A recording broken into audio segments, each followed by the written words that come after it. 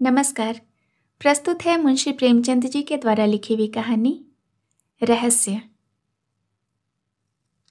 विमल प्रकाश ने सेवाश्रम के द्वार पर पहुंचकर जेब से रुमाल निकाला और बालों पर पड़ी हुई गर्द साफ़ की, फिर उसी रुमाल से जूतों की गर्द झाड़ी और अंदर दाखिल हुआ।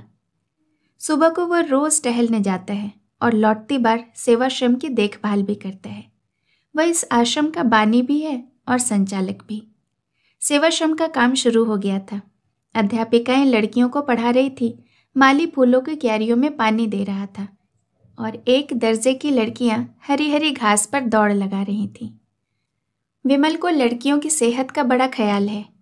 विमल एक क्षण वहीं खड़ा प्रसन्न मन से लड़कियों की बाल क्रीड़ा देखता रहा, फिर आकर दफ्तर में बैठ गया। क्लर्क ने कल आई हुई डाक उसके सामने रख दी। विमल ने सारे पत्र एक एक करके खोले और सरसरी तौर पर पढ़कर रख दिए। उसके मुख पर चिंता और निराशा का धूमिल रंग दौड़ गया। उसने धन के लिए समाचार पत्रों में जो अपील निकाली थी, उसका कोई असर नहीं हुआ। कैसे चलेगी यह संस्था? लोग क्या इतने अनुदार हैं? वह तन मन से इस काम में लगा हुआ है। उसके पास जो कुछ था, वह सब उसने इस आश्रम को भेंट कर दी। अब लोग उससे और क्या चाहते हैं? क्या अब भी वह उनकी दया और विश्वास के योग्य नहीं? वह इसी चिंता में डूबा हुआ उठा और घर पर आकर सोचने लगा कि यह संकट कैसे टले। अभी आधा साल भी नहीं गुजरा और आश्रम पर बारह हज़ार का कर्ज हो गया था। साल पूरा होते होते वह बीस हज़ार तक पहुंचेगा। अगर वह लड़कियों की फ़ीस एक एक रुपये बढ़ा दे तो पाँच सौ रुपये की आमदनी बढ़ सकती है। हॉस्टल की फ़ीस दो दो रुपये बढ़ा दे तो पाँच सौ रुपये और आ सकते हैं। इस तरह वह आश्रम की आमदनी में बारह हज़ार सालाना की बढ़ती कर सकता है।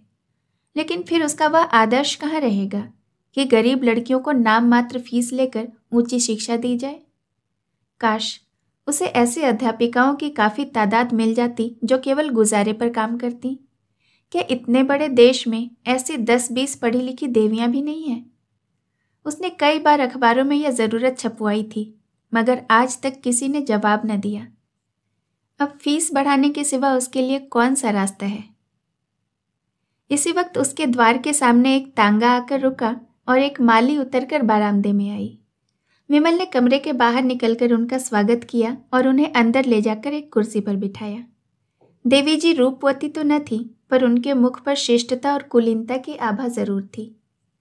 औसत कद, चंपई रंग, प्रसन्न मुख, खूब बनी संवरीवी। मगर उस बनाव समार में ही जैसे एक अभाव की झलक थी। विमल के लिए यह कोई नई बात नहीं थी। जब से उसने सेवाश्रम खोला था, भले घरों की देवियाँ अक्सर उससे मिलने आती रहती थीं। देवी जी ने कुर्सी पर बैठते हुए कहा, पहले अपना नाम बता दूँ, मुझे मंजुला कहते हैं। मैंने कुछ दिन हुए लीडर में आपकी नोटिस देखी थी और उसी प्रयोजन से आपकी सेवा में आई हूँ। यूँ तो आपसे मिलने का शौक बहुत दिनों से था। पर कोई अवसर ही नहीं निकाल पाती थी और बरबस आकर आपका कीमती समय नष्ट नहीं करना चाहती थी। आपने जिस त्याग और तन्मयता से नारियों की सेवा की है, उससे आपके प्रति मेरे मन में इतनी श्रद्धा पैदा हो गई है कि मैं उसे प्रकट करूँ तो शायद आप उसे खुशामद समझेंगे। मेरे मन में भी इसी तरह की सेवा की इच्छा बहुत दिनों से है, पर जितना सोचती हूँ उतना कर नहीं सकती। आपके प्रोत्साहन से संभव है कि मैं भी कुछ कर सकूँ। विमल मौन सेवकों में था। अपनी प्रशंसा उसके लिए सबसे कठिन परीक्षा थी। उसकी ठीक वही दशा होती जाती थी, जैसे कोई पानी में डुबकियाँ खा रहा हो। वह खुद किसी के मुँह पर उसकी तारीफ़ न करता था, इसलिए तारीफ़ के भूखे उसे तंग दिल समझते थे। वह पीठ के पीछे तारीफ़ करता था। हाँ बुराइयाँ वह मुँह पर करता था, और दूसरों से भी यही आशा रखता था। उसने अपना उखड़ा हुआ पाँव जमाते हुए कहा यह तो बहुत अच्छी बात होगी। आप शौक से आए, सेवाश्रम की दशा तो आपको मालूम ही होगी। मैं इस इरादे से यहाँ नहीं आई हूँ। यह तो मैं पहले ही समझ गया था। मेरी भी यह आशा नहीं थी, यूँ ही कह दिया। अच्छा आपका मकान यही है? मंजुला देवी का घर लखनऊ में है। जालंधर के कन्या विद्यालय में शिक्षा पाई है। अंग्रेज़ी में अच्छी लियाकत है। घर के काम धंधे में भी कुशल है।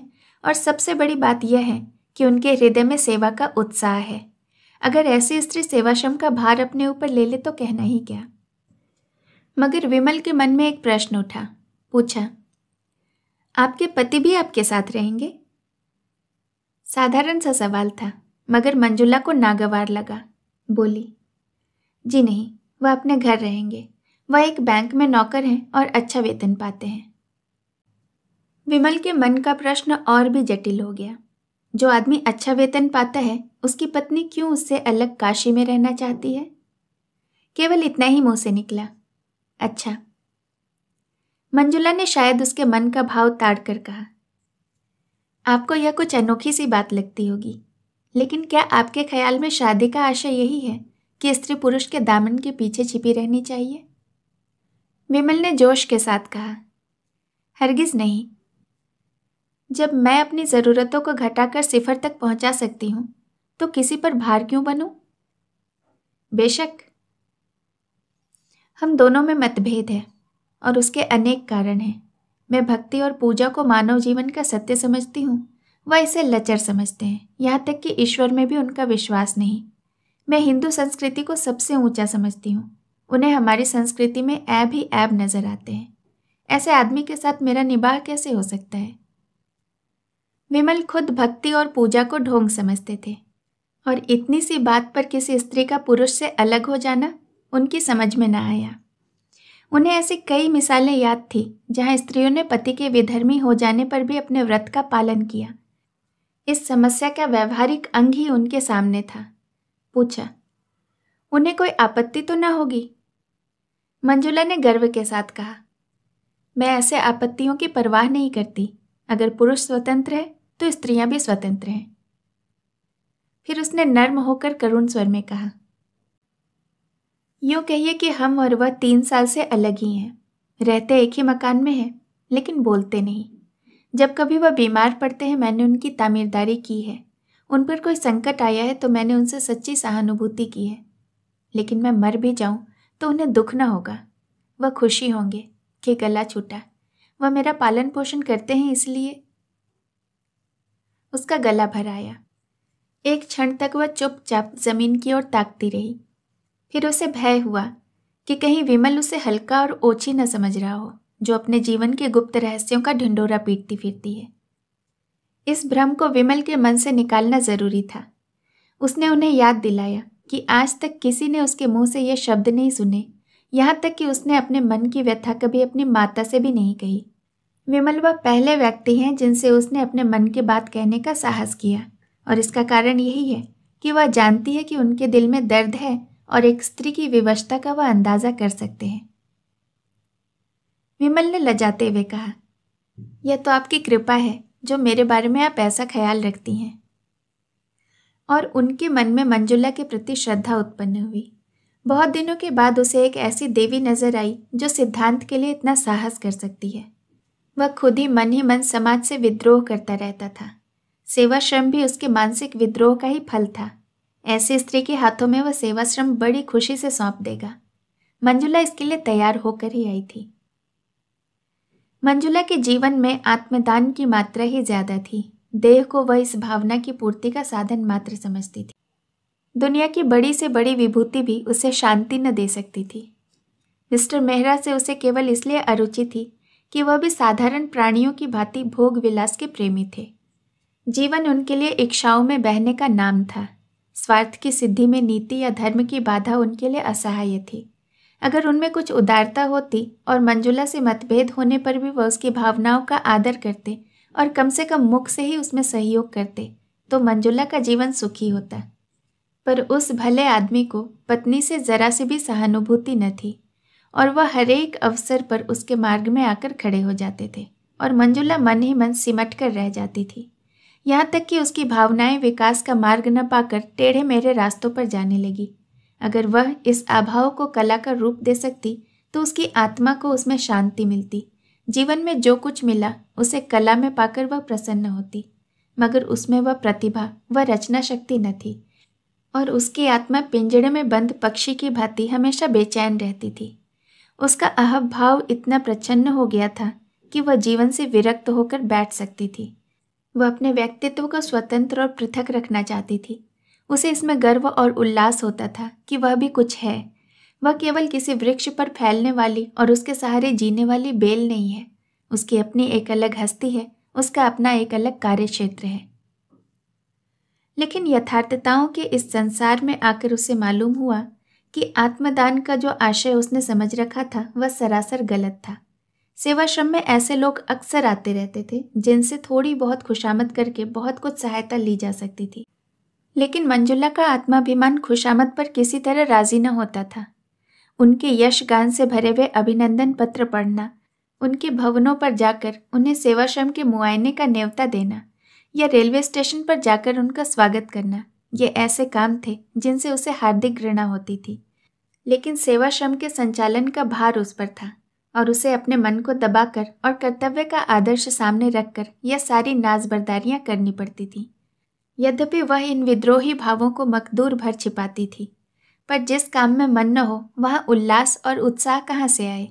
जिन समझौते से घबराकर वह भागी थी, वह यहाँ और भी विकृत रूप से उसका पीछा कर रहे थे। उसके मन में कटुता आती जाती थी और एकाग्र सेवा की धुन मिटती जाती थी। इसके विरुद्ध वह विमल को देखती थी कि उसके चेहरे पर कभी शिकन नहीं आती। वही साहस्य मुख, वही उत्सर्ग से भरा हुआ उद्भाव, वही क्रियाशील, वही तन्मयता। छोटे से छोटे काम के लिए हमेशा हाजिर।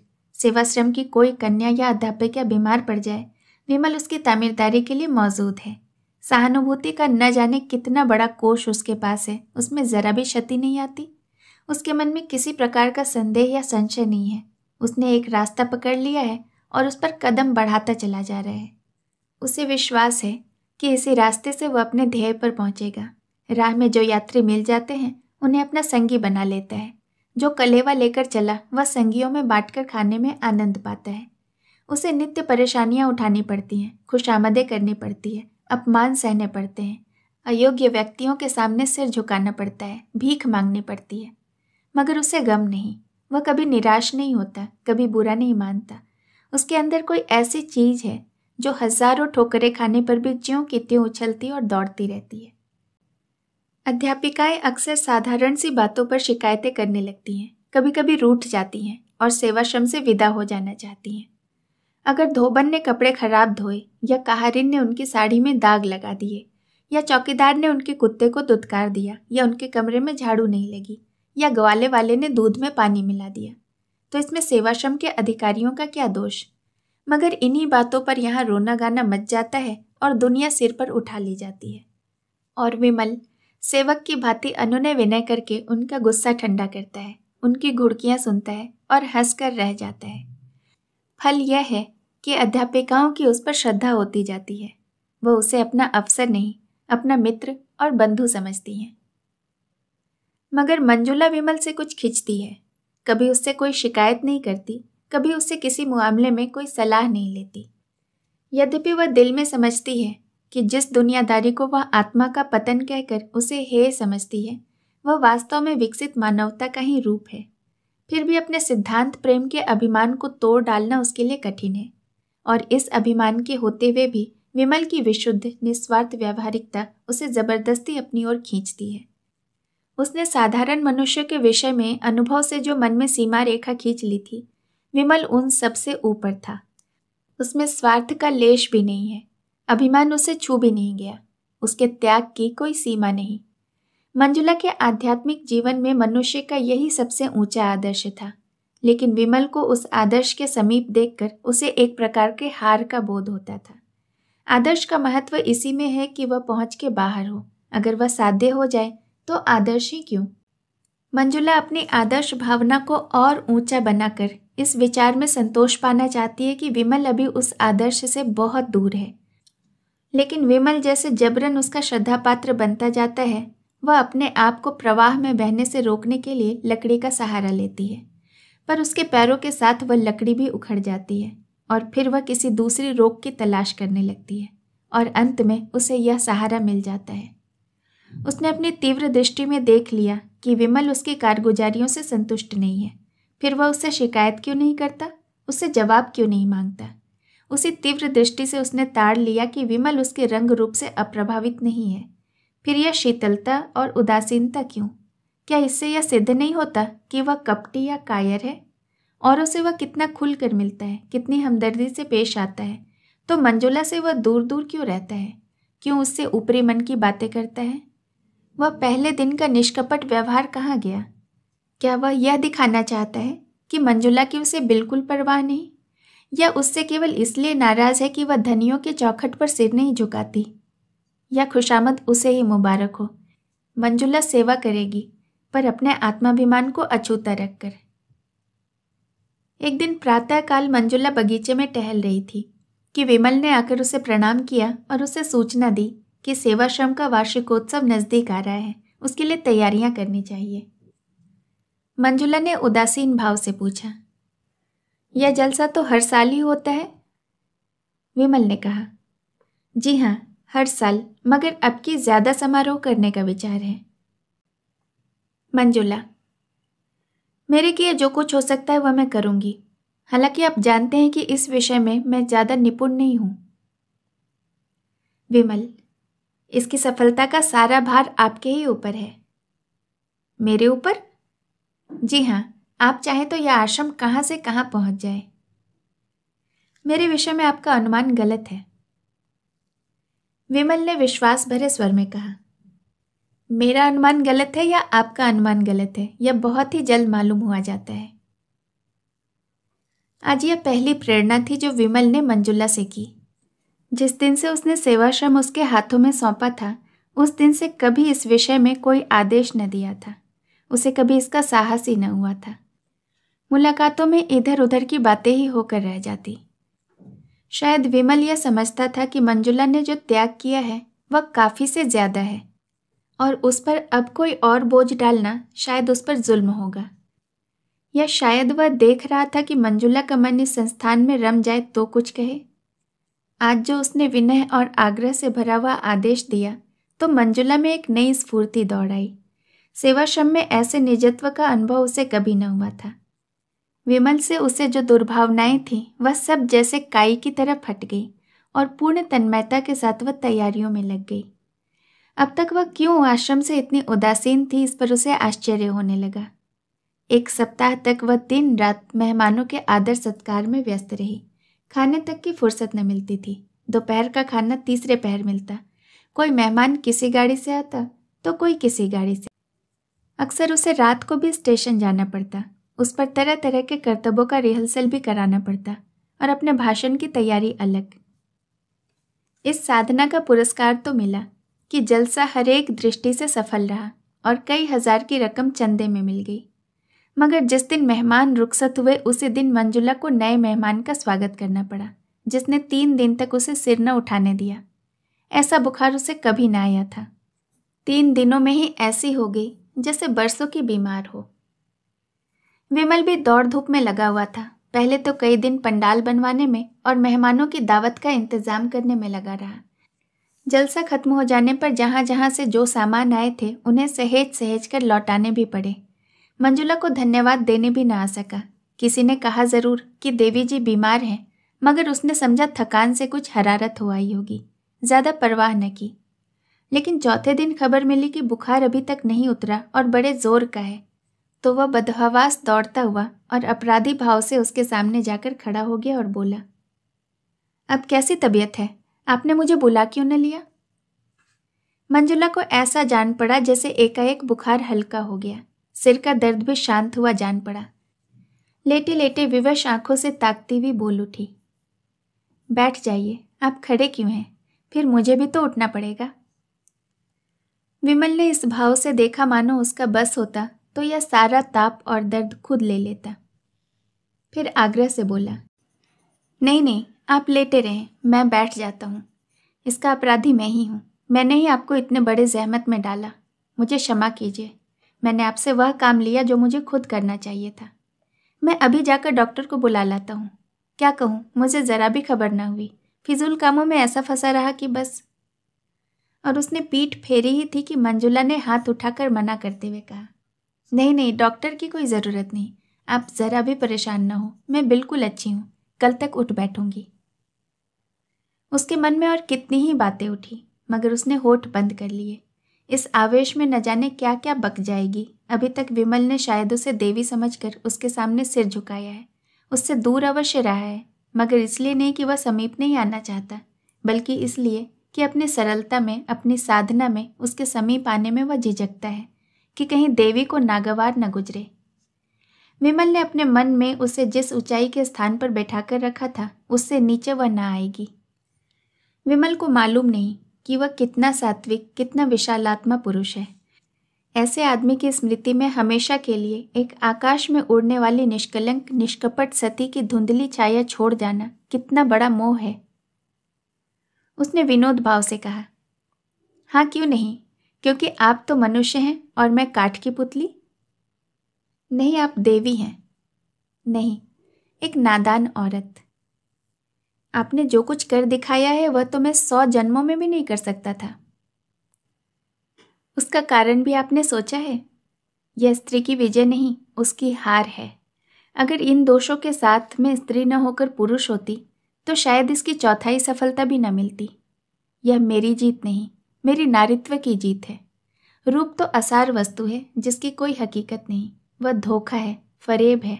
दुर्बलताओं को पीछे छिपाने का एक पर्दा मात्र।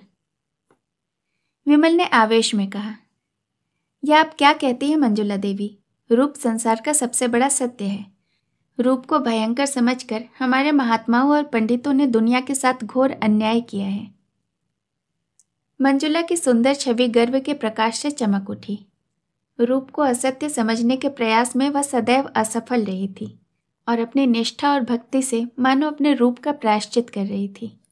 उसी रूप के इस समर्थन ने एक क्षण के लिए उसे मुग्ध कर दिया और वह संभल कर बोली, आप धोखे में हैं विमल बाबू, मुझे क्षमा कीजिए, मगर यह रूप की उपासना आप में कोई नई बात नहीं है। मर्दों ने हमेशा रूप की उपासना की है। थोड़े पंडितों या महात्माओं ने चाहे रूप की निंदा की हो, मगर मर्दों ने प्राय रूपाशक्ति का ही प्रमाण दिया है। यहाँ तक कि रूप के लिए धर्म की परवाह नहीं की और उन पंडितों और महात्माओं ने भी जबान या कलम में चाहे इसके विरुद्ध कितना भी वे शुगला हो, लेकिन अंतकरण में वे उसकी पूजा ही करते हैं।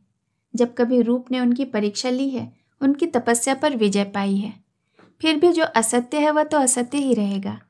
रूप का आकर्षण केवल बाहरी आँखों के लिए है। ज्ञानियों की निगाह में उसका कोई मूल्य नहीं है। कम से कम आपके मुख से तो मैं रूप का यह बखान नहीं सुन सकती, क्योंकि मैं आपको देवतुल्य समझती हूँ और दिल से आप पर श्रद्धा रखती हूँ। विमल विक्षिप्त सा ज़मीन की तरफ़ ताकता रहा और बराबर ताकता ही चला गया, जैसे वह मूर्छावस्था में हो। फिर चौंक कर उठा और अपराधियों की भांति सिर झुकाए संदिग्ध भाव से कदम बढ़ाता हुआ कमरे से निकल गया और मंजुला निश्चिंत बैठी रही। उस दिन से एकाएक विमल का सारा उत्साह और कर्मण्यता जैसे ठंडी पड़ गई, जैसे उसमें अब अपना मुँह दिखाने की हिम्मत नहीं।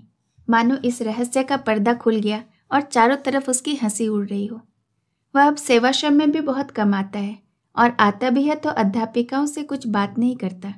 सबसे जैसे मुँह चुराता फिरता है। मंजुला को मिलने का कोई अवसर नहीं देता और जब मंजुला हार कर उसके घर जाती है तो कहला देता है कि वह घर में नहीं है। हालाँकि वह घर में ही छिपकर बैठा रहता है। और मंजुला उसके मनोरहस्य को समझने में असमर्थ है। विमल ने अपनी साधना और सद्भावना से उसे अपनी ओर आकर्षित कर लिया है, इसमें कोई संदेह नहीं। वह एक नारी की गहरी अंतर्दृष्टि से देख रही है कि विमल भी उसका उपासक बन बैठा है और जरा भी प्रोत्साहन पाने पर अपने आप को उसके चरणों पर वह डाल देगा। उसने बरसों से जो ज़िंदगी बसर की है, उसमें प्रेम नहीं है। सेवा और कर्तव्य का दामन पकड़कर भी उसे अपनी अपूर्णता का ज्ञान होता रहा है। जिस पुरुष से उसका प्रेम नहीं है, न विश्वास है उसके प्रति वह किसी तरह का नैतिक या धार्मिक बंधन नहीं स्वीकार करती। वह अपने को स्वच्छंद समझती है। चाहे समाज उसकी स्वच्छंदता न माने, पर उसकी आत्मा इस विषय में अपने आप को आज़ाद समझती है। मगर विमल की नज़रों में आदर और भक्ति पाने का मोह उसमें इतना प्रबल है कि वह उस स्वच्छंदता की भावना को सिर उठाने नहीं देती। वह विमल से संसर्ग की घनिष्ठता तो चाहती है, पर अपने आत्माभिमान की रक्षा करते हुए। इसके साथ ही विमल के पवित्र और निर्मल जीवन में वह दाग नहीं लगाना चाहती। उसने सोचा था कि विमल को दवा का हल्का सा घूंट पिलाकर वह स्वस्थ कर देगी। वह स्वस्थ होकर उसके मनोध्यान में आएगा, फूलों को देखकर प्रसन्न होगा हरी हरी धूप पर लेटेगा, पक्षियों का गाना सुनेगा। उससे वह इतना ही संसर्ग चाहती थी। दीपक के प्रकाश का आनंद तो दीपक से दूर रहकर ही लिया जा सकता है। उसे स्पर्श करके तो वह अपने आप को जला सकता है। मगर अब उसे मालूम हुआ कि दवा की वह घूंट बाधा को हरने के बदले एक दूसरा रोग पैदा कर गई। विमल में निर्लोप होकर रहने की शक्ति न थी। वह जिस चीज़ की ओर झुकता था, तन मन से उसी का हो जाता था और जब खींचता था तो मानो नाता ही तोड़ लेता था। उसके इस नए व्यवहार को मंजुला अपना अपमान समझती है और मन यहाँ से उचाट हो जाता है। आखिर एक दिन उसने विमल को पकड़ ही लिया। मंजुला जानती थी कि विमल रोज दरिया किनारे सैर करने जाता है। एक दिन उसने वहीं जाकर घेरा और अपना इस्तीफा उसके हाथ में रख दिया। विमल के गले में जैसे फांसी पड़ गई, ज़मीन की ओर ताकता हुआ बोला, ऐसा क्यों? इसलिए कि मैं अपने आप को इस काम के योग्य नहीं पाती। संस्था तो खूब चल रही है, फिर भी मैं यहाँ रहना नहीं चाहती। मुझसे कोई अपराध हुआ है? आप अपने दिल से पूछिए। विमल ने इस वाक्य का वह आशय समझ लिया जो मंजुला की कल्पना से कोसों दूर था। उसके मुख का रंग उड़ गया और जैसे रक्त की गति बंद हो गई। उसके पास इसका कोई जवाब न था। ऐसा फैसला था जिसकी कहीं अपील न थी। आहत स्वर में बोला, जैसी आपकी इच्छा, मुझ पर दया कीजिए। मंजुला ने आद्र होकर कहा तो मैं चली जाऊँ? जैसी आपकी इच्छा और वह जैसे गले का फंदा छुड़ाकर भाग खड़ा हुआ। मंजुला करुण नेत्रों से उसे देखती रही। मानो सामने कोई नौका डूबी जा रही हो। चाबुक खाकर विमल फिर सेवाश्रम की गाड़ी में जुट गया। कह दिया गया कि मंजुला देवी के पति बीमार थे, वह चली गई। कामकाजी आदमी प्रेम का रोग नहीं पालता। उसे कविता करने और प्रेम पत्र लिखने और ठंडी आहें भरने की फुर्सत कहाँ। उसके सामने तो कर्तव्य है। प्रगति की इच्छा है, आदर्श है। विमल भी काम धंधे में लग गया। हाँ कभी कभी एकांत में मंजुला की याद आ जाती थी और लज्जा से उसका मस्तक आप ही आप झुक जाता था। उसे हमेशा के लिए सबक मिल गया कि ऐसी सती साध्वी के प्रति उसने कितनी बेहूदगी की। तीन साल गुजर गए। गर्मियों के दिन थे। विमल अब की मंसूरी की सैर करने गया हुआ था और एक हॉस्टल में ठहरा था। एक दिन बैंड स्टैंड के समीप खड़ा हुआ बैंड सुन रहा था कि बगल की बेंच पर मंजुला बैठी हुई नज़र आई, आभूषणों और रंगों से जगमगाती हुई। उसके पास ही एक युवक कोट पैंट पहने हुए बैठा था। दोनों मुस्कुरा मुस्कुरा कर बातें कर रहे थे। दोनों के चेहरे खिले, दोनों प्रेम के नशे में मस्त। विमल के मन में सवाल उठा, यह युवक कौन है? मंजुला का पति तो नहीं हो सकता? यह संभव है कि उसका पति ही हो? दंपति में अब मेल हो गया होगा। उसे मंजुला के सामने जाने का साहस न हुआ। दूसरे दिन वह अंग्रेज़ी तमाशा देखने सिनेमा हॉल गया था। इंटरवल में बाहर निकला तो कैफ़े में फिर मंजुला दिखाई दी। सिर से पाँव तक अंग्रेज़ी पहनावे में। वही कल वाला युवक आज भी उसके साथ था। आज विमल से जब्द न हो सका। इसके पहले कि वह मन में कुछ निश्चय कर सके, वह मंजुला के सामने जाकर खड़ा हो गया। मंजुला उसे देखते ही सन्नाटे में आ गई। मुँह पर हवाइयाँ उड़ने लगी, मगर एक ही क्षण में उसने अपने आप को संभाल लिया और मुस्कुराकर बोली, हेलो, विमल बाबू, आप यहाँ कैसे? और उसने उस नवयुवक से विमल का परिचय कराया। आप महात्मा पुरुष हैं, काशी के सेवाश्रम के संचालक, और यह मेरे मित्र मिस्टर खन्ना। अभी हाल में ही इंग्लैंड से आईसीएफ होकर आए हैं। दोनों आदमियों ने हाथ मिलाया। मंजुला ने पूछा सेवाश्रम तो खूब चल रहा है, मैंने उसकी वार्षिक रिपोर्ट पत्रों में पढ़ी थी। आप यहाँ कहाँ ठहरे हुए हैं? विमल ने होटल का नाम बताया। खेल फिर से शुरू हो गया, खन्ना ने कहा। खेल शुरू हो गया है, चलो अंदर चले। मंजुला ने कहा। तुम जाकर देखो, मैं ज़रा मिस्टर विमल से बातें करूँगी। खन्ना ने विमल को जलती हुई आँखों से देखा और अकड़ता हुआ अंदर चला गया। मंजुला और विमल बाहर आकर हरी हरी घास पर बैठ गए। विमल का हृदय गर्व से फूला हुआ था। आशा में उल्लास की चांदनी सी हृदय पर चिटकी हुई थी। मंजुला ने गंभीर स्वर में पूछा आपको मेरी याद काहे को आई होगी? कई बार इच्छा हुई कि आपको पत्र लिखूं, लेकिन संकोच के मारे लिख न सकी। आप मज़े में तो थे? विमल को यह उलाहना बुरा लगा। कहाँ अभी हास्य विनोद में मग्न थी? कहाँ उसे देखते ही गंभीरता की पुतली बन गई। रूखे स्वर में बोला हाँ बहुत अच्छी तरह से था। आप तो आराम से थी? मंजुला आद्र कंठ से बोली, मेरे भाग्य में तो आराम लिखा ही नहीं, मिस्टर विमल। पिछले साल पति का देहांत हो गया। उन्होंने जितनी जायदाद छोड़ी, उससे ज़्यादा कर्ज छोड़ा। इन्हीं उलझनों में पड़ी रही। स्वास्थ्य भी बिगड़ गया। डॉक्टरों ने पहाड़ पर रहने की सलाह दी। तब से यहीं पड़ी हुई हूँ। आपने मुझे खत तक न लिखा? आपके सिर क्या यूँ ही कम बोझ है कि मैं अपनी भी चिंताओं का भार रख देती? फिर भी एक मित्र होने के नाते तो मुझे खबर देनी चाहिए थी। मंजुला ने स्वर में श्रद्धा भरकर कहा, आपका काम इन झगड़ों में पड़ना नहीं है विमल बाबू। आपको ईश्वर ने सेवा और त्याग के लिए रचा है। वही आपका क्षेत्र है। मैं जानती हूँ, आपकी मुझ पर दया दृष्टि है। मैं कह नहीं सकती कि मेरी नज़रों में उसका कितना मूल्य है, जिसे कभी दया और प्रेम न मिला हो। वह इनकी ओर लपके तो क्षमा के योग्य है। आप समझ सकते हैं कि उनका परित्याग करके मैंने कितनी बड़ी कुर्बानी की है। मगर मैंने इसी को अपना कर्तव्य समझा। मैं सब कुछ सह लूँगी, पर आपको देवत्व के ऊँचे स्थान से नीचे न गिरने दूँगी। आप ज्ञानी हैं। संसार के सुख कितने अनित्य हैं आप खूब जानते हैं। इनके प्रलोभनों में ना आइएगा। आप मनुष्य हैं, आप में भी इच्छाएँ हैं, वासनाएँ हैं, लेकिन इच्छाओं पर विजय पाकर ही आपने यह ऊँचा पद पाया है। उसकी रक्षा कीजिए, और आध्यात्म ही आपकी मदद कर सकता है। उसकी साधना से आपका जीवन सात्विक होगा और मन पवित्र होगा। विमल ने अभी अभी मंजुला को आमोद प्रमोद में क्रीड़ा करते देखा था। खन्ना से उसका क्या संबंध है, यह भी वह समझ रहा था। फिर भी इस उपदेश से उसे सच्ची सहानुभूति का संदेश मिला। विलासिनी मंजुला उसे देवी के रूप में नज़र आई।